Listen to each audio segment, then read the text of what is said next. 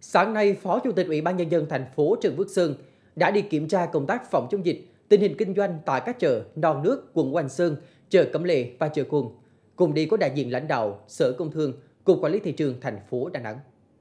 Sau khi đi kiểm tra thực tế tại các chợ, nghe ban quản lý các chợ báo cáo phương án phòng dịch cũng như tâm tư nguyện vọng của bà con tiểu thương tại các chợ, Phó Chủ tịch Ủy ban nhân dân thành phố Trần Phước Sơn chỉ đạo ban quản lý các chợ thực hiện phương án phòng dịch an toàn, linh hoạt, phù hợp nhằm tạo điều kiện thuận lợi tốt nhất cho tiểu thương duy trì hoạt động buôn bán trong cao điểm Tết Nguyên đán. Trong đó tăng cường tuyên truyền tiểu thương, người đi chợ nghiêm túc thực hiện quy định 5K. Nếu trường hợp xuất hiện F0 trở lại tại chợ thì quan điểm của thành phố là khoanh vùng hẹp, xét nghiệm nhanh, tiểu thương âm tính vẫn được kinh doanh bình thường.